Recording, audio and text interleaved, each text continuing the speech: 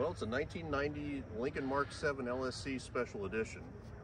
And the history on this car is kind of unique. Um, I met my wife in May of 1990.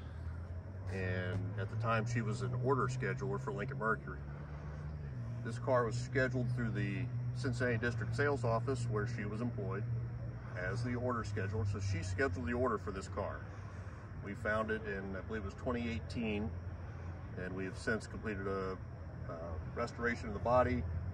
Uh, the drivetrain, we didn't have to do much to it, but the interior has been redone. And, uh, it's one that we enjoy driving to all the LCOC meets and cruise ins, and just great car for us.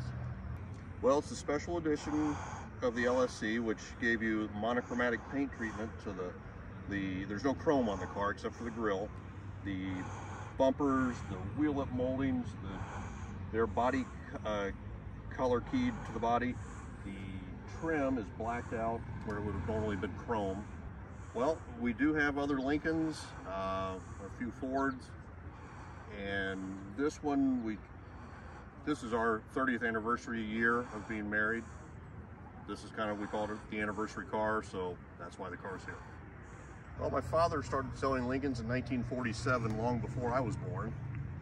And I grew up in a Lincoln Mercury dealership from the time I was five, I've been in a dealership. I, I didn't know anything other than Lincoln